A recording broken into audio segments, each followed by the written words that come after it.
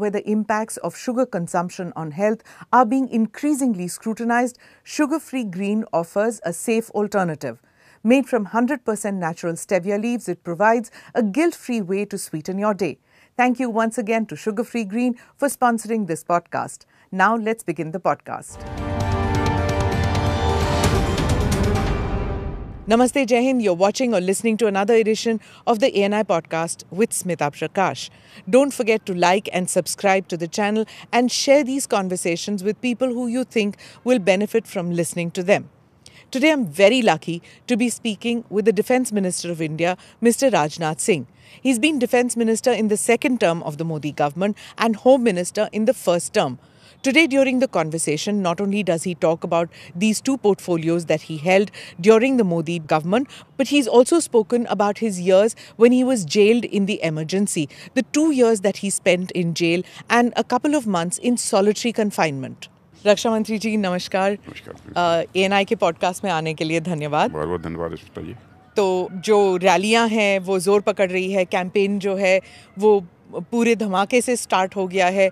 आप भी आज तमिलनाडु में थे, फिर अरुणाचल में थे। विपक्ष जो है, वो कह रही है कि जिस तरह बीजेपी 400 पार का नारा दे रही है, अगर वो दोबारा सत्ता में आती है और 400 का नंबर लेके आती है तो संविधान को पूरी तरह बदल देंगे। आप क्या कहेंगे? पहले तो मैं स्पष्ट कर देना चाहता हूँ कि हम लोग जो भी टारगेट तय करते हैं ग्राउंड रियलिटीज़ के आधार पर ही टारगेट्स तय करते हैं अपने।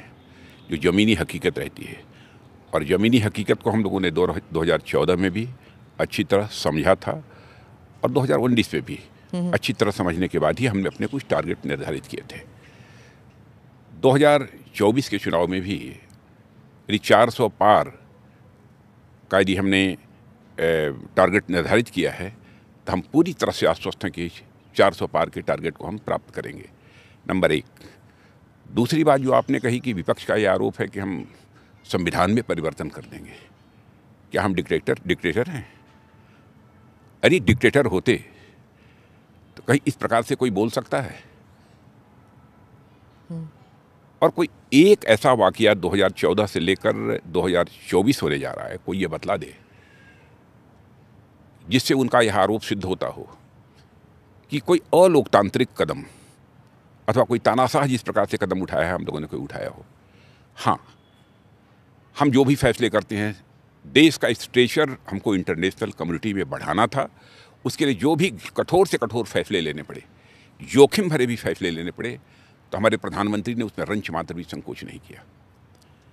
उनकी दृढ़ता उनकी संकल्प शक्ति को ही यदि वो मानते हैं कि ऐसा व्यक्ति ही तानाशाह है तो सचमुच उनकी इस सोच पर हमको तरस आती है। तो संविधान नहीं बदलेंगे आप? अरे कहाँ प्रश्न ही खड़ा होता है? क्योंकि आप कह रहे हैं कि डिक्टेटरशिप क्या हम डिक्टेटर हैं? वो तो कहते हैं कि अनडिक्लेयर्ड इमरजेंसी है और कोई कहने को तैयार नहीं है डर के मारे कोई कह नहीं रहा है लेकिन अनडिक्लेयर्ड इमरजेंसी है। क्या आप मानेंगे? देखो ये लोग तो बोल ही रहे हैं। कहाँ डर है? वो तो कह ही रहे हैं। बड़े प्रधानमंत्री के बारे में कहते हैं तानाशाह हैं। अनडिक्लेयर्ड डिक्टेटरशिप है ये ये भी बात उनके द्वारा कही जा रही है। आप अभी तमिलनाडु से आए हैं वहाँ पर तो यही आप पर आरोप है आपकी पार्टी पर कि आप मजॉरिटेरियनिज्म है आप कास्ट बेस्ड हैं आप सनातनी हैं आप हिंदू हैं और अ, इसकी वजह से और हिंदी हैं हिंदी हिंदू इम्पोजिशन है तो वहाँ की जो पॉलिटिकल पार्टी है डीएम के आप पर यही आरोप करते हैं? आरोप बे, बेबुनियाद निराधार आरोप है। क्या तमिलनाडु के विकास के लिए हमारे प्रधानमंत्री ने कदम नहीं उठाए? वहाँ काम नहीं किया। क्या उसकी चिंता नहीं करते हैं? अब मैं एक उदाहरण केवल आपको मैं देना चाहता हूँ। बात पूरी तरह से साफ़ हो जाएगी। जैसे इस देश में दो राज्यों में डिफेंस कॉरिडोर की घोषणा करनी थी। तो नॉर्थ से उत्तर प्रदेश को लिया बिगेस्ट स्टेट। तो यह फैसला हुआ कि नहीं साउथ में भी लेना चाहिए। तो तमिलनाडु एक बड़ी स्टेट है। वहाँ पर भी डिफेंस कॉरिडोर हम लोगों ने बनाया। यदि हिंदी और नॉन हिंदी का भेदभाव करना होता तो हमारी सरकार ये फैसला करती है। स्कीम्स जो भी चलाई जा रही हैं, सेंट्रल गवर्नमेंट के द्वारा। सैकड़ों स्कीम्स हैं। उन स्कीम्स का ऐसा नहीं है, केवल नॉर्थ के जो स्टेट्स हैं, उन्हीं में उनका इम्प्लीमेंटेशन हो रहा है, उन्हीं के लिए लागू किया जा रहा है, साउथ की स्टेट्स के लिए नहीं किया जा रहा है।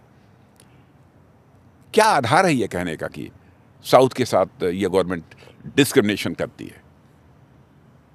ये केवल आरोप के लिए आरोप लगाए जाते हैं। पर जैसे राहुल गांधी ने आ, संसद में भी कहा था कि भारतीय जनता पार्टी तो आ, दक्षिण में जा ही नहीं सकती है।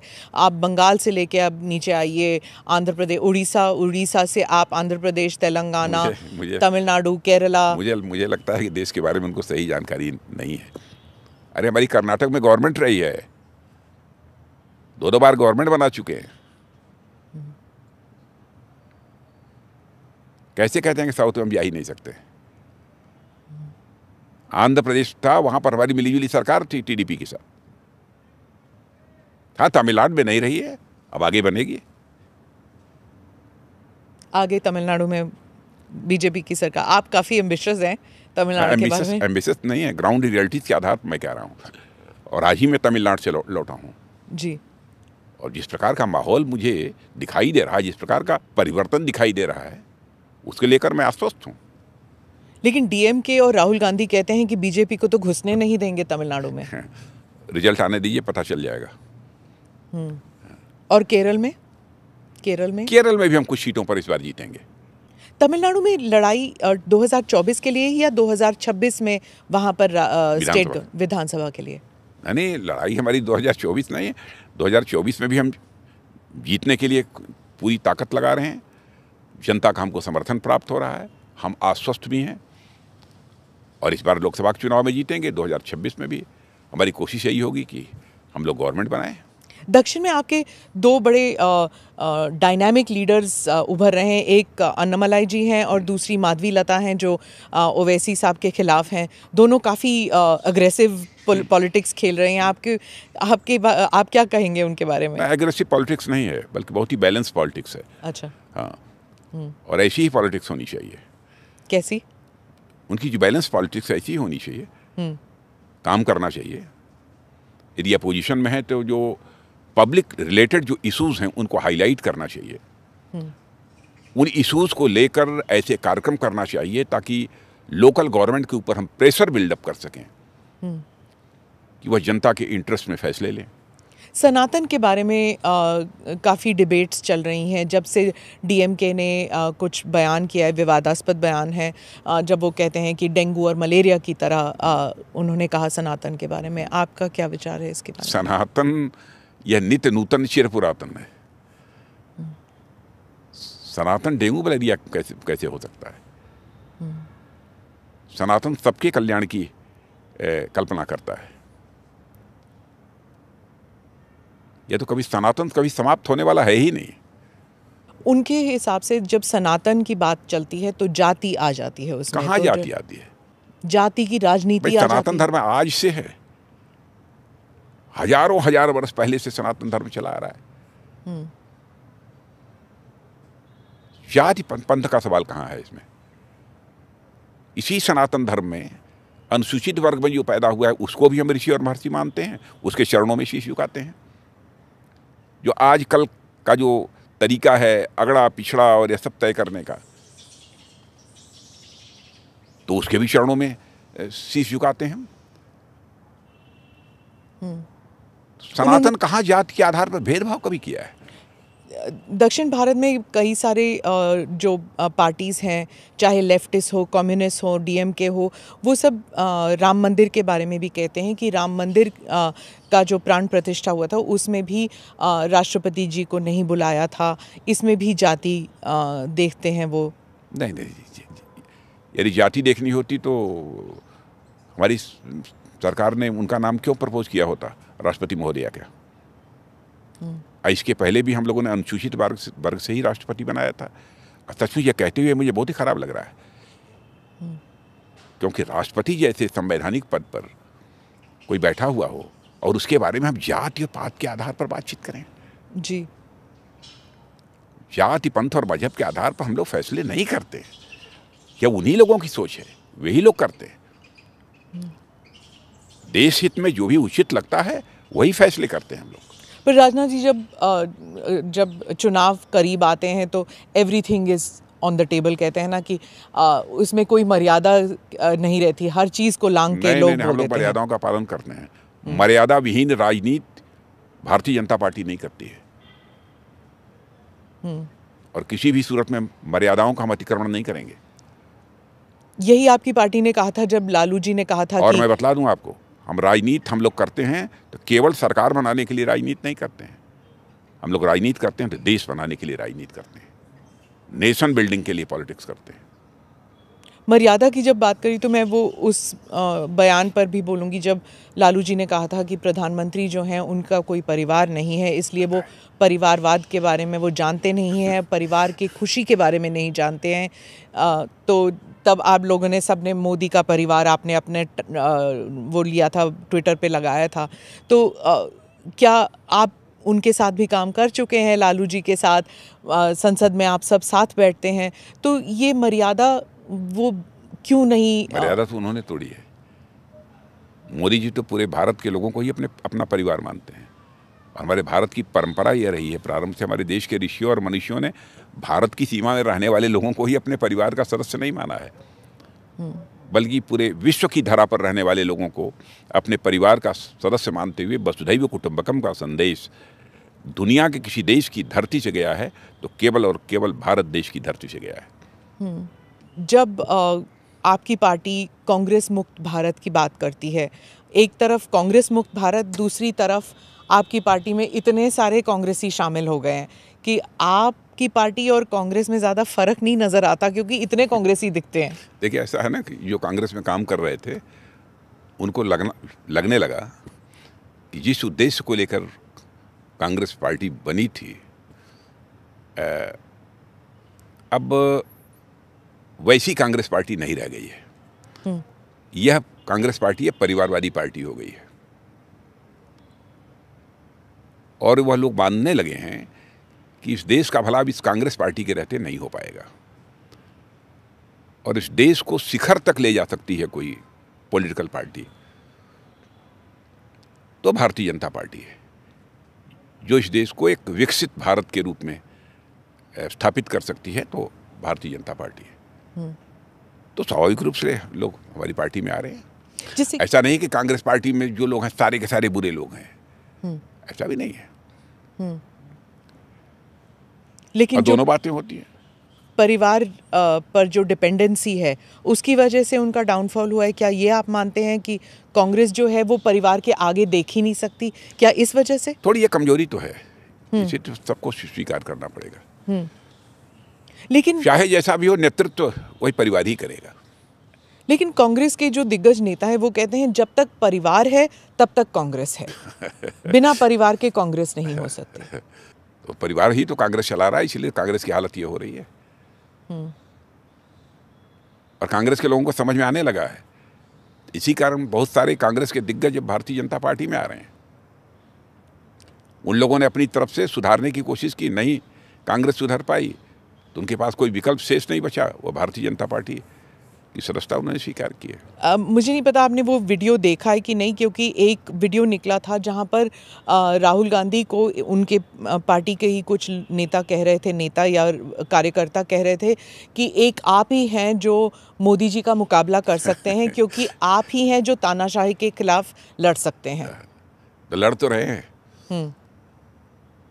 तो लेकिन आप उनमें कोई लीडरशिप क्वालिटी नहीं देखते राहुल गांधी अब उनके बारे में मैं कुछ नहीं कहना चाहता हूँ। सबके बारे में टिप्पणी नहीं करनी चाहिए। लेकिन हमें तो मतलब हम मतलब जर्नलिस्ट हों या फिर लोगों को तो लगता है कि बीजेपी रोज आरती उतारती होगी उनकी तस्वीर की कि जब तक राहुल गांधी बने रहेंगे आप लोगों के लिए तो प्रचार भी वही करते हैं। नहीं, बने रहें। लेकिन देश में हेल्दी डेमोक्रेसी होनी चाहिए इसके लिए कुछ ना कुछ प्रतिपक्ष की भूमिका निभाने वाले लोग भी तो होने चाहिए ना। लेकिन होंगे कहाँ से? आप सबको तो जेल में डाल रहे हैं कह रहे हैं कहाँ जेल में डाल रहे हैं? हम कहाँ अरविंद केजरीवाल जी जेल में बैठे हैं। मान लीजिए हमने गलत आरोप हम- हमारे कारण वह जेल चले गए। तो कोर्ट से उनको रिलीफ क्यों नहीं मिल जाती है? कोर्ट कोर्ट को भी कब्जे में ले लिया है हम लोगों ने। क्या कहना चाहते हैं? प्रतिपक्ष तो वही कह रहा है कि सारी जो संस्थाएँ हैं उनको आपने अब तक तो वो निराधार बन गए ये ये बोलकर हिम्मत कर लें कि अदालत को भी कब्जे में ले लिया है भारतीय जनता पार्टी ने। ऐसा संभव है?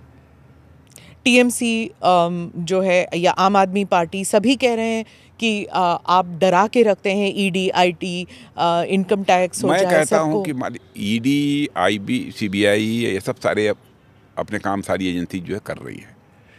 भारत को भ्रष्टाचार मुक्त करना है, ये हमारे प्रधानमंत्री का संकल्प है। यदि सारी एजेंसीज काम कर रही हैं, उनको लगता है कि एजेंसीज ने गलत तरीके से उन्हें फंसाया है, निराधार आरोपों के आधार पर उनको फंसाकर जो है जेल में डाला है तो अदालत में तो उनको अदालत से तो संरक्षण प्राप्त हो सकता है। राजा जी क्यों नहीं अदालत से राहत मिल रही है इतने साल तक मतलब मिलियंस ऑफ़ केसेस यदि यदि यदि यदि संजय सिंह की जमानत हो सकती है तो उनकी जमानत क्यों नहीं हो रही है? अरविंद केजरीवाल की। मैंने अरविंद केजरीवाल की है उसके पहले भी जो लोग भी जेल में बंद हैं। हम्म। मनीष सिसोदिया वगैरह सबकी मैं कह रहा हूँ। क्यों नहीं हो रही? कविता जी भी जेल में है। कविता जी भी जेल में। हम्म। तो फिर लड़ेगा कौन आपके खिलाफ? भाई न्यायालय पर भी लगता है उनका विश्वास नहीं रह गया क्या? न्यायालय का जो भी फैसला होगा हमारे खिलाफ होगा स्वीकार करेंगे हम। इसीलिए तो डर के मारे सभी आपकी पार्टी में आ रहे हैं क्योंकि अगर आपकी पार्टी में आए तो फिर वॉशिंग मशीन यही तो सब कोई वॉशिंग मशीन नहीं है। एजेंसी को जो अपना काम करना है एजेंसी अपना काम करेंगे। पर जो एजेंसीज जो काम कर रही हैं वो आपके निर्देश पर काम कर रही हैं यही कह रहे हैं सब क्या? विपक्षी। क्या हम लोग ये निर्देश देते हैं कि फला को गिरफ़्तार करके जेल डाल हम्म, वही तो कह रहे हैं सब। ये बेबुनियाद निराधार आरोप है। वो अपनी कमजोरियों पर अपनी गलतियों पर वो पर्दा डालने की कोशिश कर रहे हैं। देश की जनता को विपक्ष के लोग गुमराह कर रहे हैं। और कोई ये गुम गुमराह करके सोचेगा कि हम भ्रष्टाचार के आरोप से बच जाएँगे तो यह संभव नहीं है। जी अम, जब इतने अ, सारी पार्टियों से लोग आपकी पार्टी में आ रहे हैं it's like a big tent आपके बीजेपी एक टेंट की तरह है जब सब लोग आपकी पार्टी में आ रहे हैं और सबको पद मिल रहे हैं या टिकट मिल रहे हैं कुछ ना कुछ तो मिल रहा है आपकी पार्टी सभी- में चलिए ज़्यादातर लोगों को तो। अब जो इतने सारे जो आपके कार्यकर्ता हैं जो निष्काम सेवा कर रहे हैं जब उन्हें कोई पद नहीं मिलता उन्हें टिकट नहीं मिलता और जो बाहर से आते हैं माइग्रेंट उनको जब पहले ही मैंने कहा ना कि हम लोग जब राजनीति में आए थे, राजनीति क्या, उसके पहले राष्ट्रीय स्वयंसेवक संघ के जब स्वयंसेवक बने थे ना, कभी सोचा नहीं था कि हम लोगों को एमएलए बनना है, हम लोगों को एमपी बनना है। राष्ट्र निर्माण का यही पाठ हम लोगों को पढ़ाया गया था। और इसीलिए हम लोगों ने, हम लोग राष्ट्रीय स्वयंसेवक संघ के स्वयंसेवक बने और फिर उसके बाद राजनीति में भारतीय जनता पार्टी में आ गए हम लोग। कभी सोचा ही नहीं था। जो होना होगा होगा। आपका जो डिसिप्लिन आपके हम राजनीति में आए हैं तो हमको पद नहीं मिलेगा तो हम काम ही नहीं करेंगे। यह नहीं होना चाहिए। ऐसा व्यक्ति देश के लिए कुछ नहीं कर सकता। बट राजनाथ जी आपकी जो आरएसएस वाली ट्रेनिंग है या आप जो सालों साल आपने काम किया बिना किसी पद के आ, ऐसी ट्रेनिंग जो नए रिक्रूट्स जो आते हैं बाकी पार्टियों से उनका डिसिप्लिन तो है नहीं ना ये सब करने का? नहीं नहीं वो कैसे बन जाते हैं आप? वो इस ढांचे में कैसे जितने भी हमारे यहाँ काम करने वाले हमारे दल में सब सारे लोग हैं। जी। जब देखते हैं कि देश का मस्तक सारी दुनिया में ऊँचा हो रहा है तो उन्हें गौरव की अनुभूति होती है। समाज कल्याण के लिए इतने सारे काम हमारी गवर्नमेंट कर रही है। इसको देखकर वो गौरवान्वित होते हैं। जब पार्टी की सराहना समाज की अंतिम सीढ़ी पर बैठे हुए व्यक्ति के द्वारा जब वो सुनते हैं तो उनको बेहद खुशी होती है। पर जैसे नीतीश बाबू है अंत्योदय के कारण तो नहीं आए ना? आपके अंत्योदय कारण के वो तो दल बदल बदल के फिर बार बार आते हैं आपके। आपने कहा कि दरवाज़ा बंद है फिर भी वो आ जाते हैं आपकी आए ना। और आप कहेंगे उधर गए फिर उधर से इधर आ गए यही आरोप है आपका ना? जी। लेकिन नीतीश कुमार के बारे में एक बात आप भूल जाते हैं। कहीं भी रहे वो। लेकिन कभी भी उनके ऊपर भ्रष्टाचार का एक भी आरोप नहीं लगा। यह कोई छोटी बात नहीं है। ऐसा व्यक्ति हमारे साथ यदि आता है तो स्वाभाविक रूप है हमको प्रसन्नता होगी। राजनाथ जी ठीक है कि उनके ऊपर कोई भ्रष्टाचार का आरोप नहीं है पर वो इतने वर्ष मुख्यमंत्री रहे और बिहार का हाल देखिए आप उन पर इल्ज़ाम नहीं लगाएँगे कि हालत देखिए आपके राज्य का?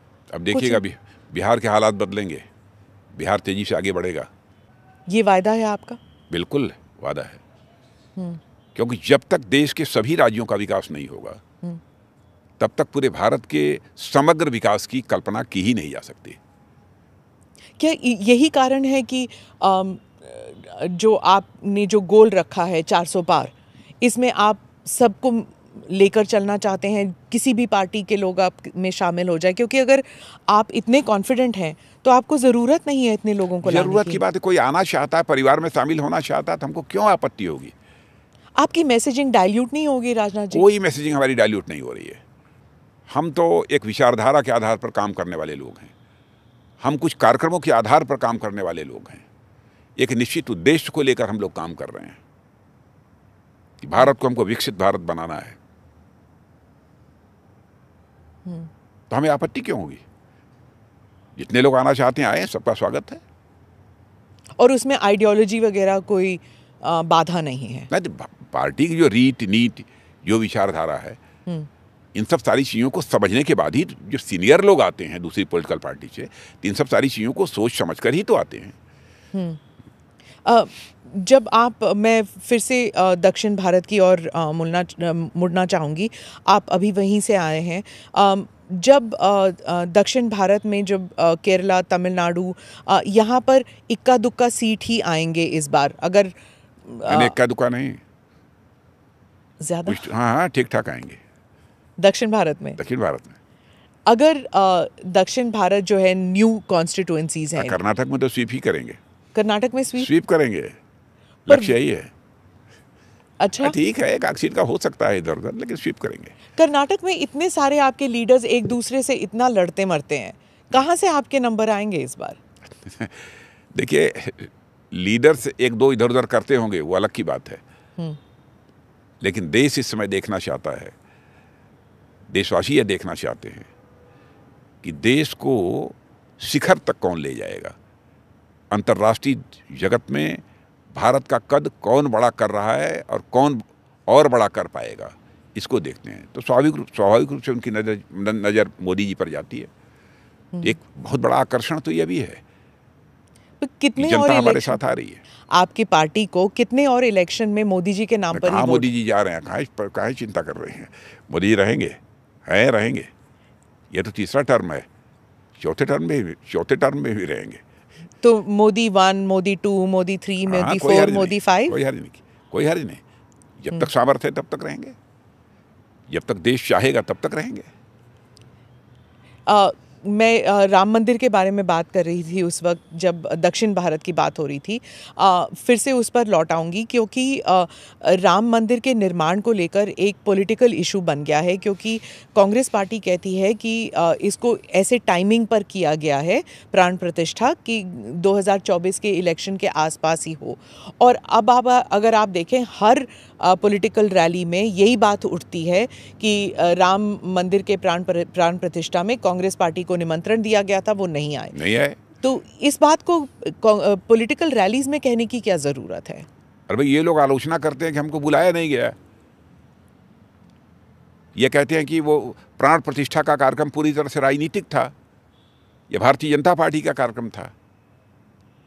तो जनता की आँखों में वह धूल झोंकने की कोशिश कर रहे हैं। तो उसका जवाब देना हमारे लिए आवश्यक है या नहीं है? हम जनता को बतला रहे हैं कि ये जो कह रहे हैं वो गलत है। इनको भी आमंत्रित किया गया था प्राण प्रतिष्ठा के कार्यक्रम में शामिल होने के लिए। पर इसको पॉलिटिकल इशू बनाने का जिम्मा किसका कहाँ था? पॉलिटिकल इशू बना रहे हैं? आप कह रहे हैं कि कांग्रेस बना रही है। कांग्रेस बना रही है। हाँ इलेक्शन मैनिफेस्टो में हमारा प्रारंभ से था।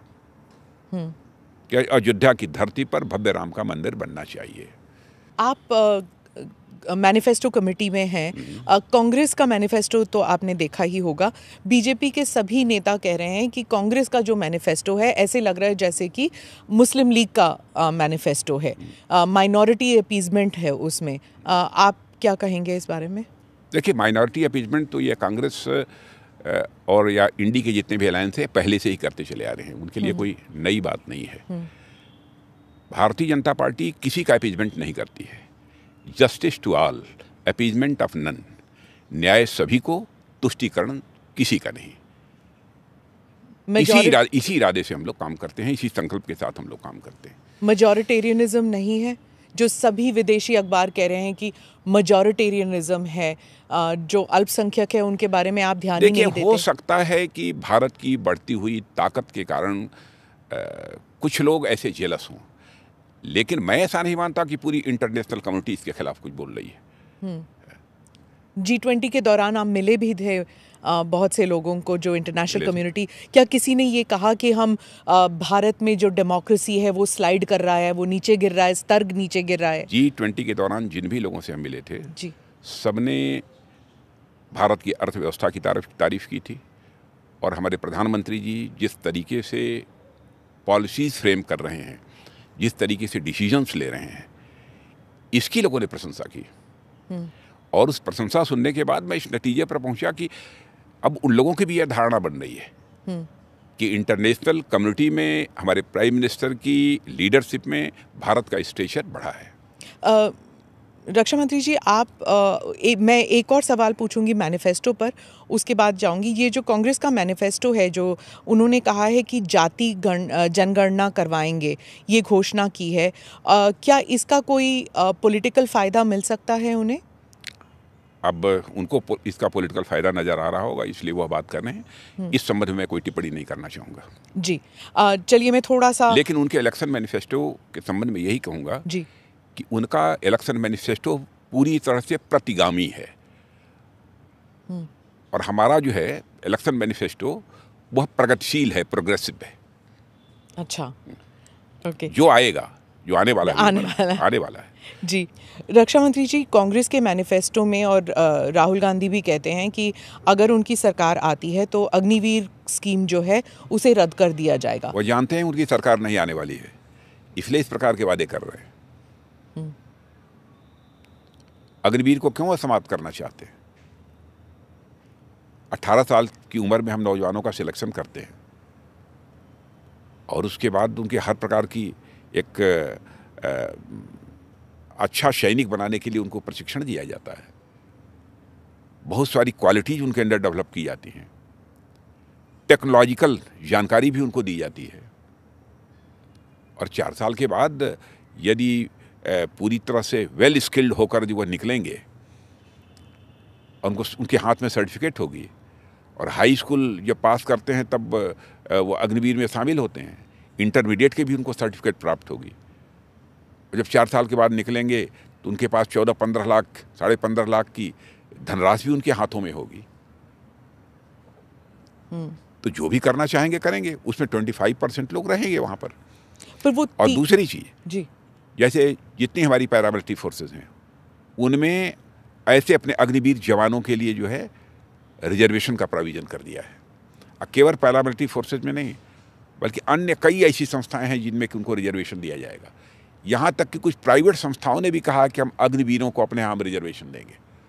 यदि कोई काम करना चाहता है, कोई अपना रोज़गार करना चाहता है, एक छोटी मोटी चौदह पंद्रह लाख की धनराशि उसके हाथ में होगी, कुछ करना चाहता है तो कर भी सकता है। और इंटरमीडिएट पास की सर्टिफिकेट भी उसको प्राप्त हो जाएगी। आगे पढ़ाई करना चाहता है पढ़ाई भी कर सकता है। इस पर क्यों आपत्ति होनी चाहिए? भाई अट्ठारह साल की उम्र में वो भर्ती होगा। चार साल के बाद यदि वहाँ से निकलता भी है तो बाईस साल की उम्र तो रहेगी ना।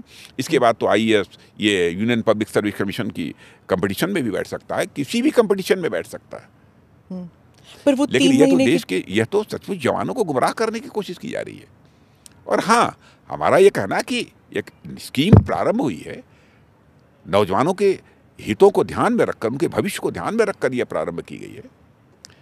लगेगा कहीं पर कुछ और कुछ सुधार करने की ज़रूरत है तो उस पर भी विचार कभी किया जा सकता है। क्या तीन महीने की ट्रेनिंग काफ़ी है? हाँ ले, ले, लेकिन मैं कहना चाहता हूँ नौजवानों का भविष्य कभी भी अंधकार में हम लोग नहीं होने देंगे। हम्म। हम लोग ऐसे नहीं हैं। वो वो कह रहे हैं कि तीन महीने की ट्रेनिंग काफ़ी नहीं है क्योंकि चीन में जो उसी उम्र के लड़के हैं जो सोल्जर्स बन रहे हैं उनकी एक डेढ़ साल की ट्रेनिंग है। तो हमारे जब सैनिक तीन महीने की ट्रेनिंग है? हमारे यहाँ भी तो आठ नौ महीने की ट्रेनिंग है। तो जब वो एल पे जाएँगे तो ना तो उनकी ट्रेनिंग काफ़ी है जितनी चीनी बिल्कुल एल पर जाने के लिए जितनी ट्रेनिंग चाहिए उतनी ट्रेनिंग दी जाएगी। और उन्हें बेनिफिट्स मिलेंगे जैसे बाकी सोल्जर्स को मिलते हैं।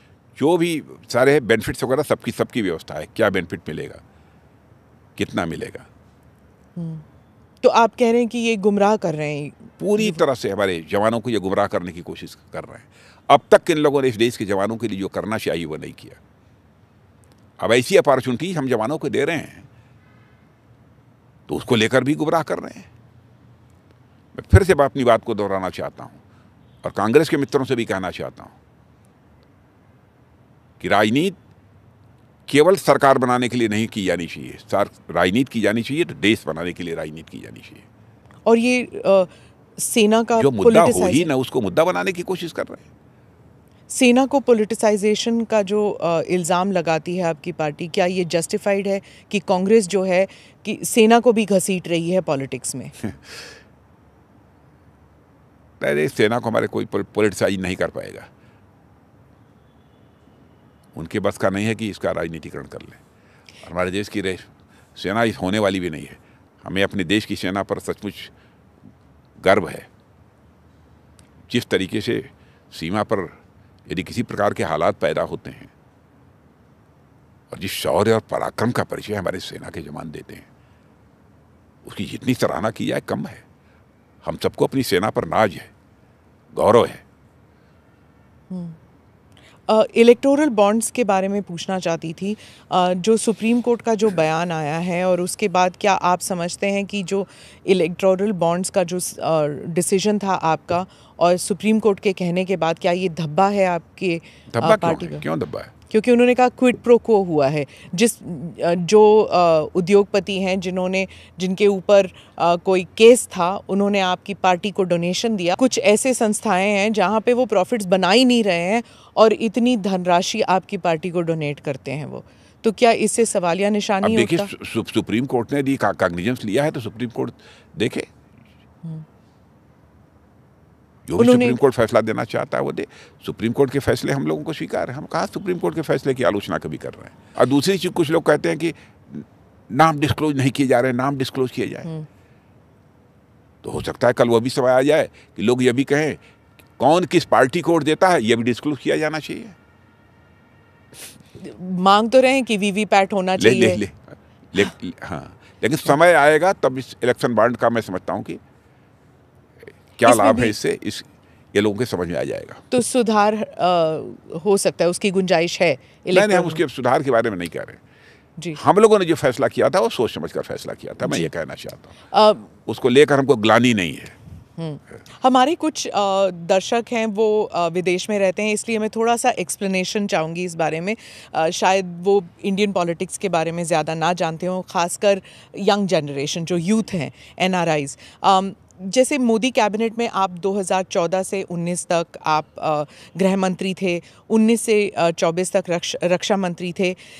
इन दोनों टेन्योर्स में कोई ऐसे असाइनमेंट जो आपको बहुत अधिक आपको आप संतुष्ट थे उस डिसीज़न को लेकर या उस एक्शन को लेकर? और कोई ऐसी घटना जिसे आप बिल्कुल ही हिल गए थे और you know it just affected you emotionally इन दोनों टेन्योर्स में? जब उरी की घटना हुई थी थोड़ा सा मुझे वेदना भी थोड़ा क्या मैंने वेदना भी हुई थी और साथ ही साथ आक्रोश भी पैदा हुआ था हम्म। पुलवामा की घटना के बाद भी आक्रोश पैदा हुआ था और जिन जवानों ने शहादत दी थी हमारे स्वाभाविक है कि उनके प्रति एक जिस प्रकार का भाव होना चाहिए किसी भी संवेदनशील प्राणी के अंदर उस प्रकार का भाव भी मेरे अंदर था हम्म। नहीं तो और किसी बात को लेकर मुझे कभी कोई तकलीफ़ नहीं हुई है विपक्ष जिस प्रकार की भूमिका निभाता रहा है, मन जिस प्रकार की अपीजमेंट पॉलिसी करता रहा है, जो कि मैं मानता हूँ कि वह राष्ट्रहित में नहीं है, उसको देखकर कभी कभी मन को लगता है कि इतनी पुरानी पॉलिटिकल पार्टी ये कहाँ देश को ले जाना चाहते हैं? हमारा ये कहना है कि अपीजमेंट की पॉलिसी नहीं की जानी चाहिए। पॉलिटिक्स नहीं की जानी चाहिए। पॉलिटिक्स यदि की जानी चाहिए तो जस्टिस और ह्यूमैनिटी की न्याय और मानवता की की जानी चाहिए। कास्ट क्रीड और रिलीजन के बेसिस पर पॉलिटिक्स नहीं होनी चाहिए। आपने पुलवामा का ज़िक्र किया गलवान भी आपके when when you were minister तब भी हुआ था। जब गलवान का किस्सा हुआ जब आप कहाँ थे उस वक्त जब आपको ये बताया गया कि क्या हुआ है और उस वक्त आपके मन में क्या सेंटिमेंट था? मेरे मन में आक्रोश पैदा हुआ था उस समय। मैं दिल्ली में ही था। तुरंत मैं गया था और उसमें उनके जो शव थे मैंने अपने कंधों पर उठाया था गृह मंत्री रहते हुए। अब उस समय की वेदना को मैं शब्दों में यहाँ व्यक्त नहीं कर सकता हूँ। आप परिवार वालों से भी मिले थे उस वक्त? हाँ परिवार वालों से। यहाँ भी आए थे लोग यहाँ भी मिले थे। जी। वहाँ तो परिवार वाले नहीं थे बहुत। हम्म, यहाँ पे हाँ। हाँ, इने गिने लोग थे लेकिन यहाँ पर मिले थे परिवार वालों से। और उस वक्त अ, मंत्री के तौर पर आप उस वक्त अ, कैसे रिएक्ट करते हैं कि अ, कुछ करना चाहिए इमीडिएटली प्रतिक्रिया होनी चाहिए या फिर सोच समझ कर स- जब समय अ, सही हो तभी एक्शन लेना चाहिए? कैसे होता है वो जो decision? होना चाहिए था उस समय हुआ आप अच्छी तरह जानते हैं। जो होना चाहिए था वो हुआ। जब आप गृह मंत्री थे चीन ने डोकलाम का वो वो किस्सा हुआ था। ट्रेड वॉर व्यापार युद्ध के कगार पर हम आ गए थे। उस वक्त की बात बताइए। यदि कहीं पर हमारा कोई पड़ोसी देश युद्ध की स्थिति पैदा करता है तो स्वाभाविक है हमारे लिए उसके मुकाबले की तैयारी करना। और उस समय हम लोगों ने तैयारी की थी। लेकिन चाहे कोई भी हमारा पड़ोसी देश हो सभी पड़ोसी देशों के साथ हम अपने रिश्ते अच्छे बनाकर रखना चाहते हैं। जी पर आपने ये भी कहा था कि क्योंकि मैं मानता हूँ कि जैसा अटल जी कहा करते थे कि हमें बराबर इस बात को ध्यान में रखना चाहिए कि ज़िंदगी में दोस्त तो बदल सकते हैं लेकिन पड़ोसी कभी नहीं बदलते हैं। जी लेकिन आपने ये भी कहा था कि मुँह तोड़ जवाब देंगे अगर किसी ने अ, हमारी ज़मीन का कोई हिस्सा लिया। क्या हमारी ज़मीन का कोई हिस्सा गया है चीन को? ऐसा मैं नहीं मानता। जी। ऐसा नहीं मानता। हाँ इस समय दोनों चाइना और भारत के बीच जो है कमांडर्स लेवल पर बातचीत चल रही है। जी। कुछ इश्यूज़ हैं। कुछ इश्यूज़ 2013 के के भी हैं जिनको कि रिजॉल्व करने की आवश्यकता है। और वो ठीक तरीके से अभी बातचीत चल रही है। बातचीत का सिलसिला टूटा नहीं है। और मैं तो यही उम्मीद करता हूँ करता हूँ कि बातचीत के द्वारा इसका कोई ना कोई समाधान निकलेगा। तो समाधान कब तक और बातचीत कितने और दौर? देखिए जब बातचीत चलती है दो देशों के बीच तो उसकी कोई समय सीमा निर्धारित नहीं की जा सकती है कि कब तक इसके परिणाम आएँगे। जी। लेकिन इसी विश्वास के साथ बातचीत वो भी कर रहे हैं इसी विश्वास के साथ हम भी बातचीत कर रहे हैं कि इसका समाधान निकलेगा। ट्रस्ट डेफिसिट कितना है? इन द सेंस कि क्या हम उन पर विश्वास कर सकते हैं? एक होता है trust verify trust and verify वाली बात होती है। क्या हम कभी भी चीन पर विश्वास कर सकते हैं? जिन मुद्दों पर बातचीत हो रही है जी। यदि इस पर वह सहमत होते हैं तो मैं समझता हूँ फिर तो अविश्वास करने का कोई कारण नहीं है। आपने कहा था कि एक इंटरव्यू में कहा था कि गृह मंत्री के रूप में पूर्वोत्तर में जो उग्रवाद पर अंकुश लगाना जो आपने किया था वो आपके लिए सबसे बड़ी उपलब्धि थी। आप आज अरुणाचल से आए हैं। तो कैसे लगा आपको उस वक्त? देखिए नॉर्थ ईस्ट का उग्रवाद तो लगभग समाप्त हो चुका है। कुछ हमारे समय काम हुआ था। कुछ हमारे सहयोगी अमित शाह जी जो गृह मंत्री इस समय हैं जी। उन्होंने भी बखूबी इस ज़िम्मेदारी को निभाया है और प्रयत्न किया है। और कई जो वहाँ पर इंसर्जेंट ग्रुप्स थे उग्रवादी ग्रुप थे उनके साथ समझौते भी हुए हैं। तब नॉर्थ ईस्ट की स्थिति मैं समझता हूँ पूरी तरह से सामान्य हो चुकी है। लेकिन एक रिपोर्ट के मुताबिक चीन ने एलएसी पे लाइन ऑफ़ एक्चुअल कंट्रोल पे अ, अपनी तरफ़ की ज़मीन पर मॉडल गाँव निर्माण किया है उन्होंने और एलएसी के कुछ छः या सात किलोमीटर की दूरी पर उन्होंने नए सुरक्षा चौकियाँ भी बनाई हैं। तो अ, और अरुणाचल प्रदेश के कुछ गाँव को भी उन्होंने रीनेम कर दिया है उस इलाके में। तो भारत इसको अब मुकाबला कैसे कर सकती है? क्या करेगी भी? देखिए एल के उस पार जो उनकी ज़मीन है उस पर वह कोई कंस्ट्रक्शन करते हैं अथवा कोई चौकी बनाते हैं तो इस संबंध में मैं क्या करूँगा? एल की इस पार वह करें एल के इस पार हम करें। लेकिन हम लोग भी तो अपना अपना कंस्ट्रक्शन का काम कर रहे हैं। हमारे बॉर्डर रोड ऑर्गेनाइजेशन ने अन्य सारी दूसरी एजेंसीज ने भी बॉर्डर के समीप काफ़ी इंफ्रास्ट्रक्चर डेवलप हम लोगों ने भी किया है। मैं इसको स्वीकार करूँगा। उन्होंने किया है हमने भी किया है। लेकिन डेवलप करें। वह सीमा के उस पार हम सीमा के इस पार। लेकिन दोनों देशों के बीच शांति भी कायम रहनी चाहिए। इसके इसका भी प्रयत्न दोनों देशों की तरफ़ से होना चाहिए। रक्षा मंत्री जी कांग्रेस के घोषणा पत्र में उन्होंने कहा है कि जो चीन का मुद्दा है उसके लिए जो राष्ट्र सुरक्षा की जो हमारी नीति है बीजेपी की जो नीति है वो छाती पीटने वाली एग्जैजरेटेड क्लेम्स है। और अगर हम सत्ता में आते हैं तो हम स्टेटस को बहाल करेंगे जहाँ पर हमारी सेनाएँ पहले पेट्रोल करती थी और अब नहीं कर पा रही हैं वो कर पाएँगे। कांग्रेस के लोग कहते हैं। जी। मैंने कई हज़ार स्क्वायर किलोमीटर जो ज़मीन चली गई है उसको सब वो उनसे चाइना से ले लेंगे उसको बहाल करेंगे। कह तो रहे हैं। इसकी आप कल्पना कर सकती हैं। और कांग्रेस की हुकूमत के द्वारा यह संभव है। देखिए मैं नहीं कहना चाहता कि उनकी हुकूमत के समय क्या हुआ था। कितने हज़ार स्क्वायर किलोमीटर ज़मीन जो है चीन के कब्जे में गई है। हाँ लेकिन इतना मैं विश्वास देशवासियों को दिलाना चाहता हूँ कि मोदी जी की नेतृत्व की गवर्नमेंट के रहते हुए एक इंच ज़मीन पर भी कोई कब्जा नहीं कर सकता और एक इंच भी ज़मीन अपनी जाने नहीं देंगे। वो तो विश्वास नहीं करते हैं आपके बातों पर। लेकिन चलिए मैं डिफेंस इंपोर्ट्स के मामले में कुछ सवाल पूछना चाहती हूँ। एक तरफ़ हम ट्रेडिशनली रूस से इंपोर्ट्स करते आए हैं।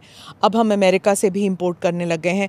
तो क्या ये बैलेंस मेंटेन कर सकते हैं हम दोनों सुपर पावर्स के बीच? अभी तक तो यह संतुलन बना हुआ है। बैलेंस अभी कहीं डिस्टर्ब नहीं हुआ है। जी। और एक्सपोर्ट्स के मामले में आपने बयान दिया था डि, डिफेंस देखिए हम- लोगों की जो पॉलिसी नॉन अलाइनमेंट की नहीं है बल्कि मल्टी अलाइनमेंट की हमारी पॉलिसी तो हम किसी के साथ अपने रिश्ते बनाकर रख सकते हैं।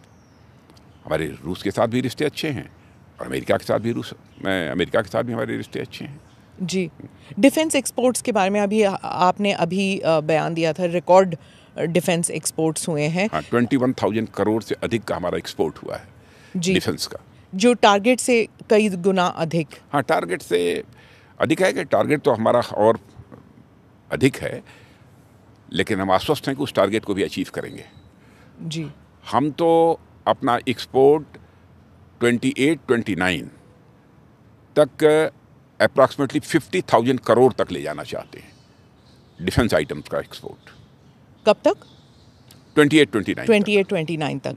जी भारतीय नौसेना जो है इंडियन ओशन रीजन में अ, कड़ी निगरानी रखती है कड़ी लेकिन निगरानी रखती है यह सही है। जी और चीन अ, के जहाज़ भी उस इलाके में उन्होंने अपनी पैरवी ज़्यादा कर ली है। तो अ, इस संदर्भ में कुछ बताएँगे कि क्या हम are we going to buy more ships submarines क्या हम अ, निगरानी और बढ़ाने वाले हैं उस इलाके में क्योंकि चीन का इंटरेस्ट जो है वहाँ पे और बढ़ गया है। देखिए इंडियन नेवी का जो रोल है वह रोल अपना इंडियन नेवी प्ले कर रही है। यदि कोई परिस्थितियाँ विशेष ऐसी पैदा होंगी तो उस समय जो फैसले करने होंगे हम फैसले करेंगे। जी। मैं चीन से अब पाकिस्तान की तरफ़ मुड़ती हूँ। आपने एक इंटरव्यू में भी कहा था, आपसे पूछा भी गया था जोशी जी का जो इंटरव्यू था, उन्होंने कहा, पूछा भी था आपसे कि ये गार्डियन का जो रिपोर्ट आया है कि भारत जो है वो पाकिस्तान में जाकर आतंकवादी, जिन्हें हम आतंकवादी कहते हैं, लेकिन अभी पाकिस्तान ने या इंटरनेशनल कम्युनिटी ने उन्हें आतंकवादी नहीं कहा है कि हमने वहाँ पर उनके घर में घुसकर मारा है। आपने भी कहा कि हम घुसकर मारेंगे प्रधानमंत्री भी कह रहे हैं। तो इससे क्या हो रहा है कि सभी पत्रकार हो जाएँ या फिर इंटरनेशनल एजेंसीज वो कह रहे हैं कि पुष्टिकरण हो गई है स्टोरी मैं पाकिस्तान से यही अपेक्षा करता हूँ कि आतंकवाद का सहारा लेकर यदि वह भारत को डिस्टेबलाइज करने की अस्थिर करने की कोशिश करेंगे तो इसका खामियाजा भुगतना पड़ेगा। आतंकवाद पर काबू पाए पाकिस्तान। यदि पाकिस्तान को लगता है कि वह आतंकवाद पर काबू पाने में असमर्थ हैं नहीं कर सकते हैं तो पड़ोसी देश भारत है उसका भी सहयोग प्राप्त करना चाहते हो तो भारत का सहयोग प्राप्त करें। आतंकवाद को रोकने के लिए भारत सहयोग करने को तैयार है।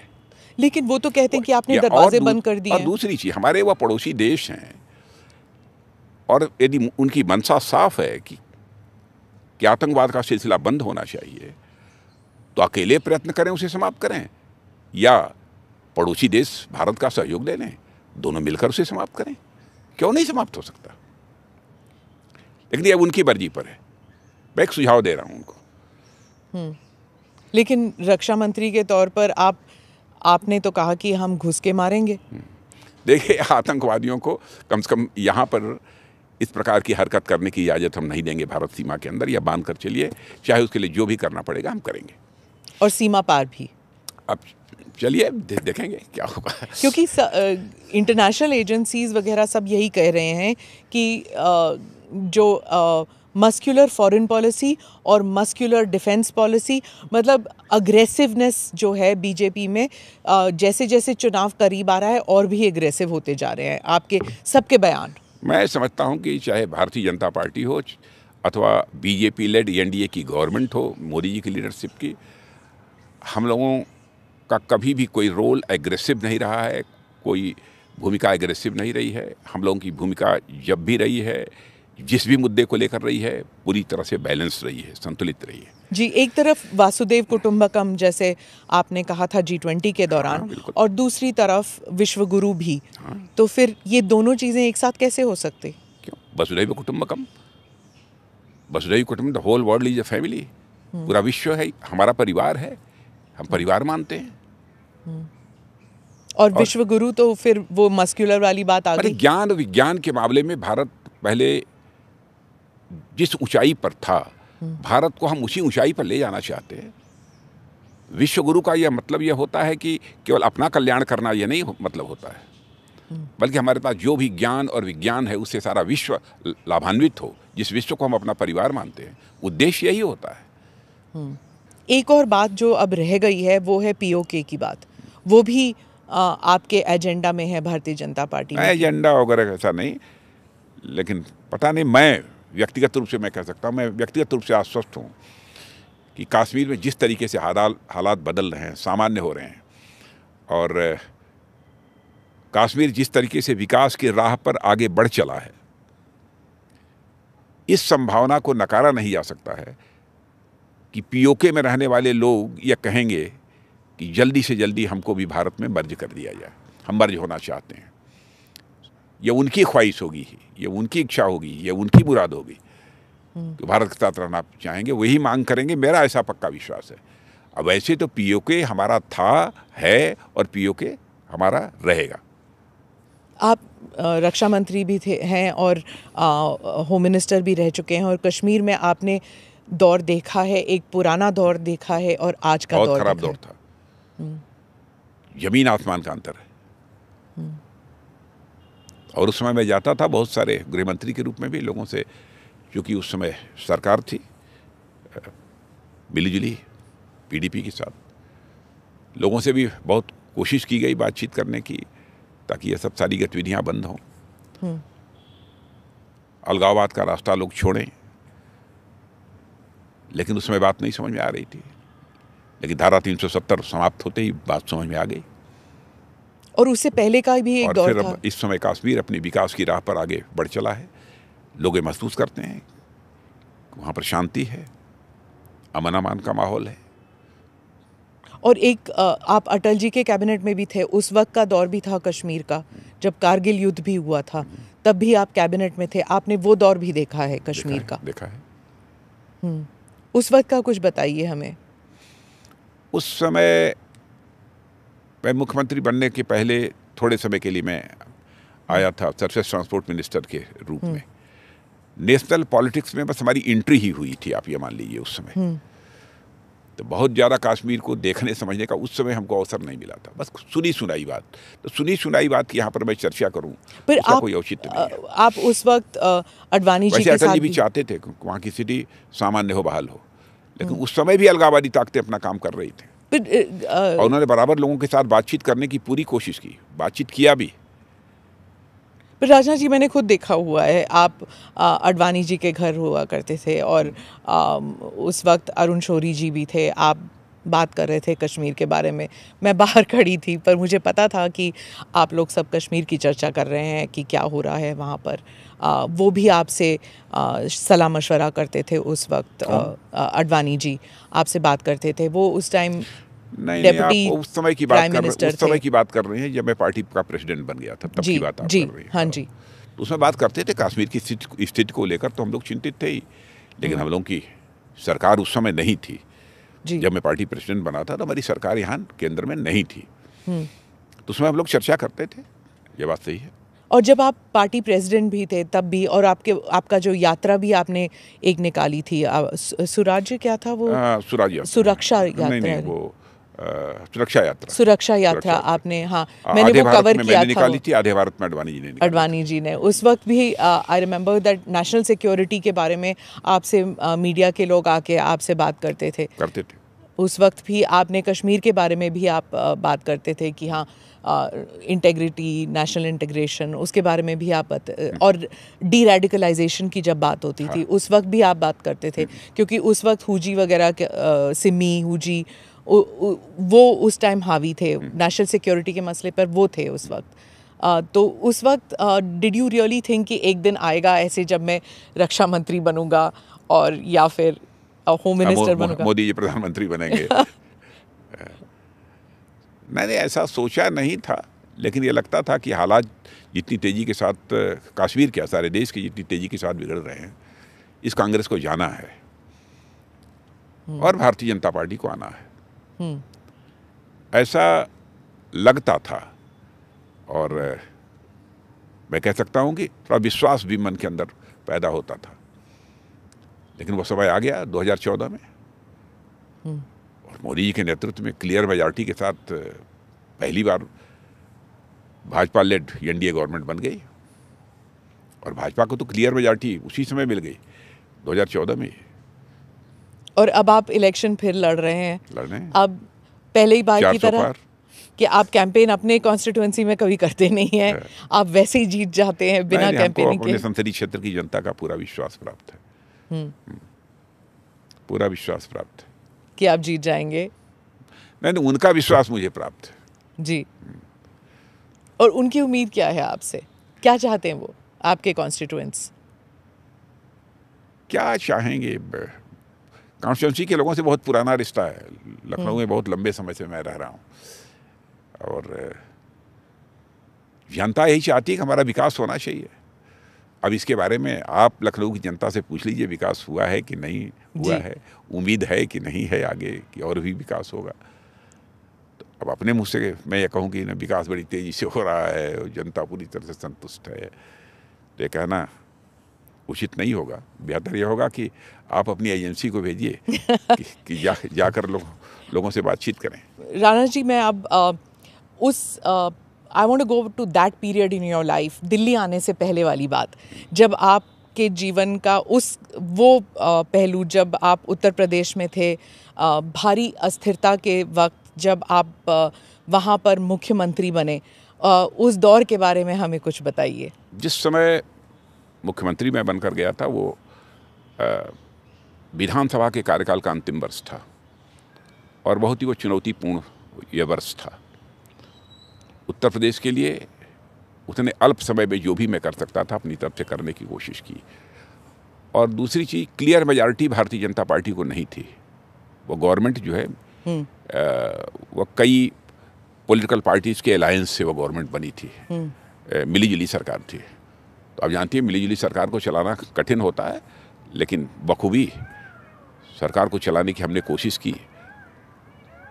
कामयाबी मिली कहाँ तक मिली नहीं मिली। इसका मूल्यांकन मैं क्या करूँ? इसका मूल्यांकन तो उत्तर प्रदेश के लोग ही करेंगे। अ, मैं इसलिए कह रही हूँ राजा जी क्योंकि कुछ जैसे जो फ़र्स्ट टाइम वोटर्स हैं उन्होंने इंस्टेबिलिटी उत्तर प्रदेश में देखी नहीं ना पॉलिटिकल इंस्टेबिलिटी वो तो स्टेबिलिटी वाले दौर में अ, उनका जीवन व्यतीत हो रहा है। अ, मैं for our viewers I just want to go back a little bit let me start from the 1970s आप तो जानते ही आप वाकिफ़ हैं। Charan Singh chief minister 225 days. Then president's rule 17 days. Tribhuvan Narayan Singh 168 days. Kamlapati Tripathi 2 days uh, 2 years 70 days. The tenure is 5 years but none of them. Narayan Tiwari 1 year 99 days. President's rule 148 days. Hemwati Nandan Bahuguna 2 years 22 days. President's rule 52 days. Narayan Tiwari again 1 year 99 days. Again president's rule. Ram Naresh Yadav 1 year 250 days. Banarsi Das 355 days. President's rule 113 days. VP Singh 2 years 40 days Shripati Mishra 2 years 15 days. And then ND Tiwari VP Singh Mulayam Singh Vir Bahadur Singh ND Tiwari Mulayam Singh Yadav Kalyan Singh Mulayam Singh Yadav Mayawati Kalyan Singh फिर आपकी सरकार आती है। One year one thirty one days one one thirty one days I think and president's rule फिर फिर मायावती फिर मुलायम जी फिर Mayawati no government more than two years उस देर वॉज़ अ रीज़न जब उत्तर प्रदेश को बीमारू राज्य कहा जाता था। सत्तर के दशक से लेकर फिर अखिलेश यादव तक तब तक इतने दशक चले गए। इंस्टेबिलिटी ऐसा क्यों हुआ राजनाथ जी? कई पॉलिटिकल पार्टीज़ थी अस्थिरता का माहौल था और एक बार तो उन्नीस सौ इक्यानवे में जब कल्याण सिंह जी मुख्यमंत्री थे उस समय तो हमारी चार की चार राज्य सरकारें जो थीं इस देश में अ, उसको उस समय की केंद्र की सरकार ने भंग कर दिया था। अयोध्या में जो ढांचा गिरा था उसके बाद लेकिन उसके बाद भी लगातार ये अस्थिरता बनी रही। कोई अस्थायी सरकार वहाँ पर नहीं आ पाई। लेकिन आपने देखा होगा कि 2017 से भारतीय जनता पार्टी की सरकार वहाँ पर श्री योगी आदित्यनाथ जी के नेतृत्व में काम कर रही है। अच्छी तरह काम कर रही है। प्रभावी भूमिका निभा रही है। और कानून और व्यवस्था का जहाँ तक प्रश्न है वो पूरी तरह से चुस्त दुरुस्त है। और विकास भी तेज़ी के साथ वहाँ पर हो रहा है। डबल इंजन की सरकार काम कर रही है। हमारे प्रधानमंत्री मोदी जी का मार्गदर्शन उनका पूरा सहयोग और राज्य में योगी जी का नेतृत्व इसके परिणाम स्वरूप हमारा उत्तर प्रदेश सब तेज़ी से आगे बढ़ रहा है। पर 80s और 90s में ऐसे हो क्यों रहा था? क्यों सरकारें बार बार गिराई जा रही थी वहाँ पर? देखिए हर स्टेट में कभी न कभी इस प्रकार के फेजेज आ जाते हैं। इतना कभी तो कहीं कहाँ- कहाँ नहीं पे? नहीं देखिए कभी कभी किस राज्य में उत्तर प्रदेश जैसा बड़ा राज्य भी तो कोई कोई राज्य नहीं है ना ये भी तो विचार करिए। हाँ। महाराष्ट्र में भी कुछ समय इसी प्रकार की स्थिति रही है। हाँ। ऐसे ये बड़े राज्यों में कभी कभी इस प्रकार की स्थिति पैदा होती है। एक फ़ेज़ चलता है उसके बाद स्टेबिलिटी आती है। अब तीस बत्तीस वर्षों का एक फ़ेज़ था वो गुजर गया। पर इसी अब राज्य स्थायित्व उत्तर प्रदेश में आ चुका है। इसी राज्य से इतने प्रधानमंत्री आए फिर भी स्टेबिलिटी नहीं फिर भी इतना बैकवर्ड था। देखिए प्रधानमंत्री उस राज्य से आते हैं इसलिए स्टेबिलिटी रहेगी यह कोई तर्क नहीं है। स्टेबल गवर्नमेंट होने के कई कारण होते हैं। जब समाज को पॉलिटिकल पार्टी कास्ट क्रीड और रिलीजन के बेसिस पर बांटकर समर्थन हासिल करने की कोशिश करती हैं तो उस राज्य में कुछ इस, इसी प्रकार की स्थिति पैदा हो जाती है। और उस समय बहुत सारी पॉलिटिकल पार्टी जाति पंथ मज़हब इसके आधार पर राजनीति करती हैं। अब स्टेबल गवर्नमेंट जब आई है तो पहली बार भारतीय जनता पार्टी की एक ऐसी गवर्नमेंट आई है जो जाति पंथ और मज़हब के आधार पर काम नहीं करती है। बल्कि प्रदेश के विकास के लिए सबके कल्याण के लिए काम करने वाली सरकार है हमारी। तो इसलिए स्टेबल गवर्नमेंट है स्थायी सरकार है चल रही है। 2017 में भी हमको उत्तर प्रदेश की जनता का हर जाति हर पंथ हर मज़हब धर्म के लोगों का हमको समर्थन प्राप्त था। और 2022 में जब चुनाव हुआ तो पहले से अधिक समर्थन प्राप्त हुआ। और 2027 का जब चुनाव होगा तो इससे भी ज़्यादा अधिक समर्थन उत्तर प्रदेश में हमको प्राप्त होगा। तो क्या ये स्टेबिलिटी आ गई उत्तर प्रदेश में। ये क्या आप ये समझते हैं कि एक ट्रेंड है कि जाति बेस्ड जो पॉलिटिकल पार्टीज़ हैं उनका अंत होने वाला है खात्मा होने वाला है? क्या हो, हो सकता है देखिए मैं मानता हूँ कि देश की जनता अब राजनीतिक दृष्टि से काफ़ी जागरूक हो चुकी है। और जिस तरीके से हमारे प्रधानमंत्री ने सरकार चलाई है केंद्र में सचमुच मेरी मैं कहूँ कि ये एक मॉडल गवर्नमेंट है तो यह कहना भी अतिशयोक्तिपूर्ण नहीं होगा। आपने देखा होगा 2014 का चुनाव लड़ते हुए भी 2019 का चुनाव लड़ते हुए भी कभी भी हम लोगों ने जाति पंथ मज़हब यह सब सारी बातें नहीं की। अथवा कोई भी ऐसा कदम नहीं उठाया है जिसे कोई यह कह सके कि यह पॉलिटिक्स ऑफ़ पोलराइजेशन है। एक भी कदम ऐसा नहीं उठाया। उत्तर प्रदेश की जब बात कर रहे थे तो वहाँ पर जो बुलडोज़र बाबा का जो टर्म दिया जाता है कि अन बिना किसी अ, जाँच के लोगों के खिलाफ जो है उनके घर तोड़ दिए जाते हैं इन द सस्पिशन बिना कोई सस्पिशन के आधार पर किसी के घर नहीं तोड़े गए हैं जहाँ तक मेरी जानकारी है। सस्पिशन के आधार पर नहीं। गलत तरीके से भी किसी ने अपना कोई घर बनवा लिया है। पर जैसे अ, और कोई किस, किसी की ज़मीन पर कब्जा करके बनवा लिया है। सरकार की ज़मीन पर बनवा लिया गया है। जो मेरी जानकारी है। इंक्वायरी पूरी होने से पहले ही बुलडोजर लिया जाता है और उनके घर नहीं नहीं जाते हैं। कहीं से रिपोर्ट आने के बाद ही ये कार्रवाई होती है। जैसी मेरी जानकारी है। हम्म। ऐसे नहीं गिराया जाता। यदि म्यूनिसिपल कॉरपोरेशन है तो कॉरपोरेशन से जानकारी लेते हैं। जो अल्पसंख्यक गाँव का मामला है है। तो ग्राम पंचायत से उसकी जानकारी हासिल करते हैं तहसीलदार से जानकारी हासिल करते हैं। उनकी रिपोर्ट आने के बाद ही होता है। ओवैसी साहब तो यही कहते हैं कि जो माइनॉरिटीज हैं उनके घर तोड़े जाते हैं चाहे उत्तर प्रदेश में हो या फिर किसी और बीजेपी राज्य में हो गलत बात बिना इंक्वायरी के। वो तो बराबर जिस प्रकार की वो पॉलिटिक्स करते हैं ये भगवान बचाए उनको हम लोग मेजॉरिटी माइनॉरिटी के आधार पर पॉलिटिक्स नहीं करते। कि सिर्फ़ मुसलमानों के घर तोड़े कोई जाते प्रश्न ही नहीं खड़ा होता। मुसलमान भी हमारे देश का नागरिक है। मैं कहता हूँ जैसे हमारी जो भी गवर्नमेंट की स्कीम्स हैं, प्रधानमंत्री की जो स्कीम्स हैं, उसका लाभ केवल हिंदुओं को मिल रहा है। क्या मुसलमान बहनों भाइयों को उसका लाभ नहीं मिल रहा है? कहीं पर हम लोगों ने कोई डिस्क्रिमिनेशन किया है, कोई भेदभाव किया है हिंदू मुसलमान के आधार पर? केवल वोट बैंक की पॉलिटिक्स ये लोग करने की कोशिश करते हैं। इससे उनका वोट बैंक नहीं बनने वाला है। देश की जनता राजनीतिक दृष्टि से अब काफ़ी जागरूक हो चुकी है। अगर ऐसी इन हथकंडों में नहीं आने वाली है वो। अगर ऐसी बात है तो हमारे लिए हिंदू मुसलमान ईसाई पारसी यहूदी जो भी भारत का नागरिक है सभी समान है। अगर सभी समान है तो आपकी पार्टी टिकट क्यों नहीं देती? ऐसा है कि टिकट कुछ लोगों को देते भी हैं ऐसा भी है कि एकदम नहीं देते हैं। मैं राज्यसभा में लेकर आए हैं। भारतीय जनसंघ के रूप में काम कर रहे थे उस समय भी आरिफ साहब थे सिकंदर बख्त साहब थे ऐसे सब सारे दिग्गज थे। कैबिनेट में एक भी मुसलमान नहीं है। नहीं थे इसके पहले थे। मुख्तार अब्बास नकवी तो थे। ही हम्म। लेकिन अब धीरे धीरे वो चुन कर आएँगे वो भी बनेंगे। और इस बार भी मुसलमान आपकी पार्टी हो या कांग्रेस पार्टी हो यही तो ओवैसी साहब कहते हैं कि कोई भी पार्टी जो है मुसलमानों को टिकट नहीं देती केवल वही देते हैं। इसका का, कांग्रेस भी नहीं देती सोशलिस्ट भी ये समाजवादी पार्टी कोई नहीं देता है। केवल वही देते हैं। वही कहते हैं कि मुसलमान जो है अभी तक कोई अपनी लीडरशिप बनाया नहीं। ये सब लोग जाति पंथ और मज़हब की राजनीति करने वाले हैं कास्ट क्रीड की रिलीजन की यह सब पॉलिटिक्स नहीं की जानी चाहिए। पॉलिटिक्स इंसाफ और इंसानियत की करिए सबको साथ लेकर चलिए। ये आपने लखनवी बात कह दी ना गंगा जमुना तहजीब वाली। Justice to all appeasement of none नहीं जो कहते हैं वो करते हैं। ये मतलब किसी भी इस्लाम धर्म के मानने वाले के साथ डिस्क्रिमिनेशन हम लोगों ने किया हो। जो भी हमारी गवर्नमेंट की स्कीम्स हम क्यों उनको, क्या उनको हम सहायता नहीं देते? जो हिंदुओं को देते हैं, अथवा अन्य दूसरी कौमों को देते हैं। उसमें भेदभाव करते हैं। अब अब भी लोगों की समझ में यह बात नहीं आ रही है कि लगातार हमारे प्रधानमंत्री के पक्ष में बराबर परसेंटेज ऑफ़ समर्थन, जिसको कहा जाए, समर्थन का प्रतिशत ये लगातार बढ़ता जा रहा है। क्यों बढ़ता जा रहा है?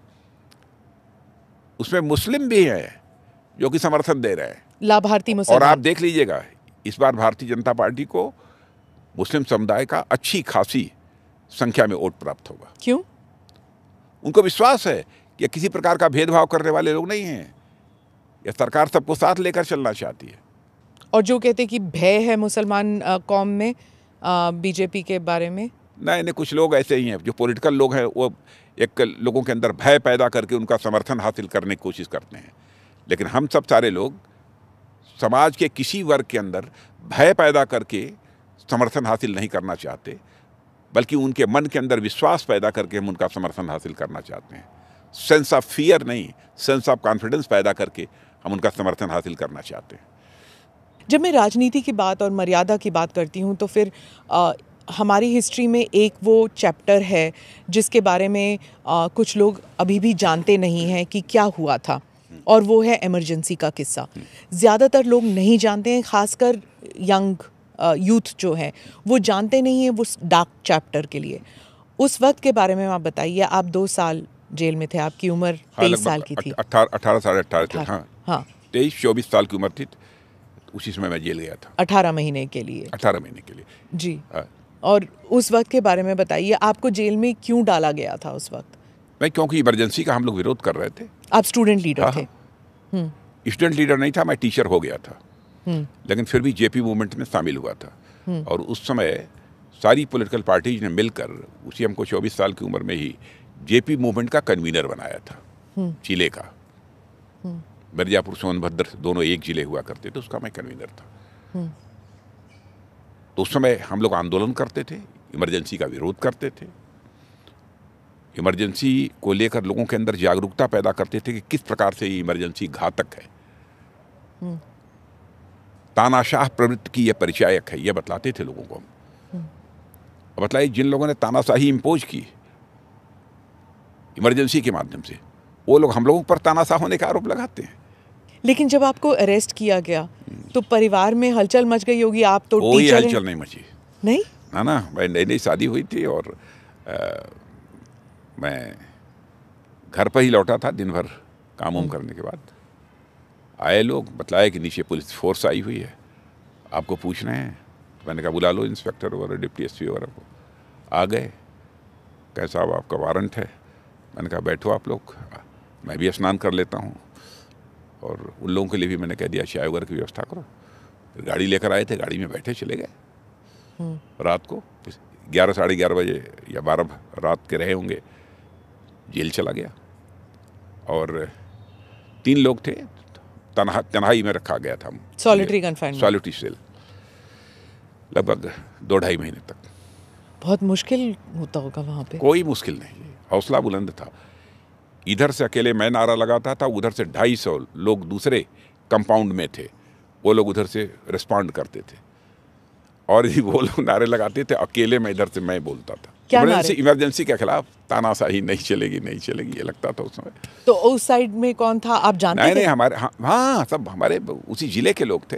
हम्म। अ, जो कि इमरजेंसी के दौरान गिरफ़्तार हुए थे। बहुत सारी पॉलिटिकल पार्टीज़ के लोग गिरफ़्तार हुए थे उस समय। हाँ। और जब आपको सॉलिटरी कन्फाइनमेंट में रखा गया आपके पास क्या किताब या कुछ पढ़ने के लिए अखबार आते थे किताब आता था क्या था? कैसे आप वक्त गुजारते थे वहाँ पर? उस समय पुस्तक वगैरह कुछ नहीं दी जाती थी। एक पीतल का तसला होता था उसी में दाल दी जाती थी और वैसे वै, वैसे ही हाथ हाथ पर रोटी दी जाती थी। और? तो लेकर हम लोग कुछ दिनों तक जब जब तक था मैं वहाँ सॉलिटरी सेल में उस समय तक हम लोग खाते थे। हाँ और कुछ समय के लिए हम लोग को बाहर भी निकालते थे रात को फिर बंद कर देते थे उसमें सॉलिटरी सेल में। माने वो कंपाउंड था उसमें और कोई नहीं था हम तीन लोग थे। लेकिन वो लोग भी मुझसे पहले ही छूट गए थे। पर आपको दो साल तक क्यों रखा?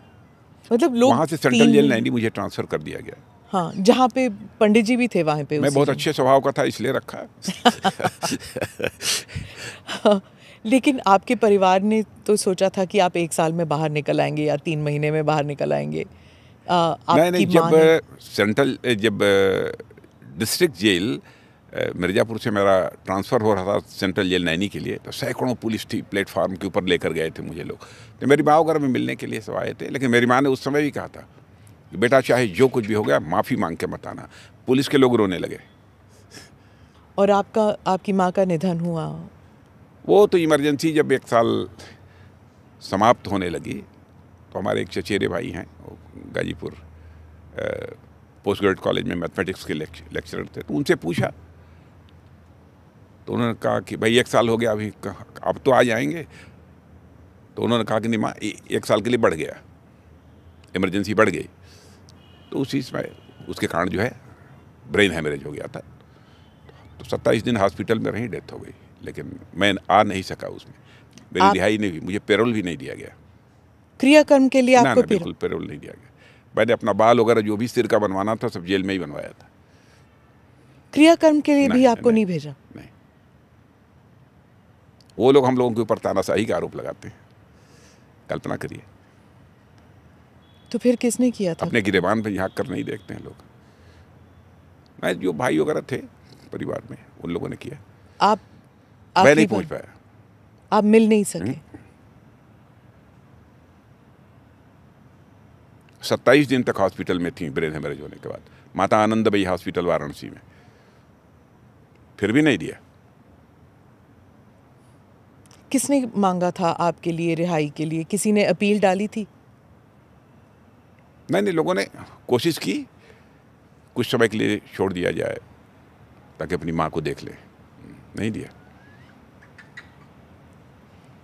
और जब आप बाहर आए तब? नहीं कुछ समय के बाद एक बार बीच में लगभग माँ की डेथ के कई महीने के बाद शायद चौदह पंद्रह दिन का किसी मुद्दे पर कोई पेरोल मिला था मुझे। लेकिन फिर तुरंत चौदह दिन के बाद फिर मैं जेल चला गया था। क्योंकि आने के बाद भी मैंने कुछ इमरजेंसी के खिलाफ ही लोगों को कुछ इकट्ठा उकट्ठा करना शुरू कर दिया था। तो फिर से मुझे भेज दिया था। पेरोल समाप्त नहीं हुई थी बीच में ही भेज दिया था जेल में। उस वक्त लगा था राजनाथ जी की शायद मुझे नहीं करना चाहिए ये ये विरोध बिल्कुल नहीं लगा था। करना चाहिए हमको। किसी भी हद तक इमरजेंसी के खिलाफ जाने का जज्बा था अपने अंदर। हताशा निराशा मेरे अंदर कभी नहीं पैदा हुई है। स्मिता जी, मैं आपको बता दूँ, कभी नहीं पैदा हुई है। मैं ईश्वर पर भरोसा करने वाले लोगों में हूँ। मैं डंके की चोट पर कहता हूँ, हमारी पूरी आस्था परमात्मा में रहती है, ईश्वर में रहती है। कष्ट भी देता है, उसे स्वीकार करता हूँ, हर्ष भी देता है, उसे भी स्वीकार करता हूँ। आप जेल में क्या कर रहे थे? उस वक्त कसरत कर रहे थे मेडिटेशन कर रहे थे। आप में देखिए इमरजेंसी जब सॉलिटरी सेल में थे तो उस समय तो कुछ नहीं करते थे। लेकिन उस समय भी एक वहाँ पर जो वो होते हैं ना कुछ कांस्टेबल्स या उनको वार्डर वार्ड हम्म। बोलते हैं या वार्डन हाँ। वार्डन वार्डन बोलते हाँ। थे उस समय। वार्डन उस समय बोला जाता था। तो वार्डन होते थे। एक मुस्लिम वार्डन थे। और उनको लोग कटोरा चाचा कटोरा चाचा कहकर बुलाते थे। तो हाफ़ पैंट पहनते थे खाकी और खाकी शर्ट पहनते थे। तो वो हमारे लिए कुछ, हमारे घर जाते थे तो कुछ अपने पॉकेट में रख कर कोई मिठाई उठाई या कुछ लेकर जो आते थे, चोरी से मुझे देते थे। तो मैंने कहा कि कटोरा चचा, आपको बहुत बहुत धन्यवाद इसको भी बंद कर दीजिए नहीं कब आप पकड़ कभी आप पकड़े जाएँगे आपकी नौकरी चली जाएगी। पर उसे आपकी घर की याद आ जाती होगी। नहीं नहीं घर की याद क्या? जब कुछ करने निकले थे तो निकले थे। इस सबसे बड़ी बात यह है कि हमारे घर के चाहे हमारी पत्नी हो माता हो सबका हौसला बुलंद था। मैंने कोई इस प्रकार का नहीं रहा। हमारे पिताजी भी स्वतंत्रता संग्राम सेनानी रहे तो कभी मैंने उन्होंने तो पेंशन तक नहीं ली हुई। Now we begin with our new segment, the Sugar Free Conversation, where we keep the questions interesting and the answers sugar free. अंत में दो सवाल हैं जो जो नए पीढ़ी के जो लोग हैं वो पूछना चाहते हैं कि आप प्रधानमंत्री ने योगा और फिटनेस के बारे में कहा है। आप अंतर्राष्ट्रीय स्तर पर योगा को मान्यता दिलाई है। यूनाइटेड नेशंस के अंदर जो उन्होंने प्रस्ताव रखा था मोदी जी ने एक देशों का समर्थन प्राप्त हुआ। और योगा यह भारत की देन है भारत के ऋषियों और मनीषियों की देन है। आज विश्व के अधिकांश देशों में योगा की लोग प्रैक्टिस कर रहे हैं। यह तो हम भारतवासियों के लिए गौरव का विषय है। आपके बिज़ी शेड्यूल में योगा फिटनेस ये कहाँ आप पे फिट मैं मैं तो करता हूँ प्रतिदिन करता हूँ। हम्म। टहलना और योगा करना ये और पूजा करना। सुबह करते हैं पूजा? बिल्कुल स्नान करने के बाद और करने के बाद मैं करता ही हूँ। मंदिर में जाके करते हाँ, हैं। हमारे यहाँ मंदिर है हमारे घर में मंदिर है मैं अपनी मंदिर में पूजा करता हूँ। और मुझे कहने में कोई संकोच नहीं है। बहुत लोग संकोच करते हैं। हमारी ईश्वर में आस्था है आस्था नहीं गहरी आस्था है। हम्म। आजकल बहुत स्ट्रेस है बच्चों को भी और जो युवक हैं वो जब फैमिली प्रेशर होता है वर्क प्रेशर होता है इन सब का जब प्रेशर झेलने के लिए मेंटल और फ़िज़िकल फिटनेस दोनों पर दे शुड कॉन्सेंट्रेट मोर ये कहते हैं लोग। तो would you agree with that नहीं पहले अपनी थिंकिंग भी बदलनी पड़ेगी अपनी सोच भी बदलनी पड़ेगी ना। हम्म, हम्म। क्यों स्ट्रेस लेते हैं इतना ज़्यादा? ऊपर वाले पर भी तो भरोसा करें। जो सही रास्ता है उस सही रास्ते पर आगे बढ़ें। जो अपने ऊपर ज़िम्मेदारी है उस ज़िम्मेदारी का निर्वाह करें। और यदि कोई ज़िम्मेदारी चुनौतीपूर्ण है तो पूरे आत्मविश्वास के साथ उस चुनौतीपूर्ण ज़िम्मेदारी को निभाएँ उस चुनौती पर विजय प्राप्त करें। यह संकल्प होना चाहिए। आपके दिनचर्या में खाने का क्या रोल होता है? जब आप खाते क्या हैं? और आ, उस पर आ, क्या आपका ध्यान होता है कि मुझे ये खाना चाहिए ये नहीं खाना चाहिए? थोड़ा सावधानी से बरतता हूँ मैं। हाँ जैसे सात्विक भोजन या फिर जो भी खाना हो खाइए लेकिन ज़्यादा मत खाइए। जितनी भूख लगे उससे कम खाइए। क्योंकि आपका शेड्यूल बार बार मत खाइए। शेड्यूल देखिए आप सुबह आप तमिलनाडु में थे दोपहर तक आप अरुणाचल में हैं रात को आप दिल्ली आ रहे हैं फिर कल आप निकल हैं बजे रात को। वो भी रात को इंटरव्यू और इसके बाद आप फिर कैंपेन पर निकलेंगे तो इसमें डाइट उल्टा सीधा नहीं हो जाता? नहीं नहीं नहीं सब सीधा रखता हूँ मैं। हम्म। बिल्कुल। घर का खाना जाता है आपका हर जगह? हाँ लेकर जाता हूँ लेकर जाते लेकर जाता हूँ लेकिन कभी कभी कभी बाहर भी खाना खा लेता हूँ। रात को यदि कहीं रुकना हुआ तो जहाँ रुकते हैं वहीं खाना खाते हैं। जी अच्छा। धन्यवाद राजनाथ जी आपके साथ बात करके बहुत खुशी हुई। आपको wishing you all the best इस इलेक्शंस के लिए। ऑल द बेस्ट धन्यवाद। Thank you for watching and listening to this edition of the ANI podcast with Smita Prakash. Click on the subscribe button and share this conversation with people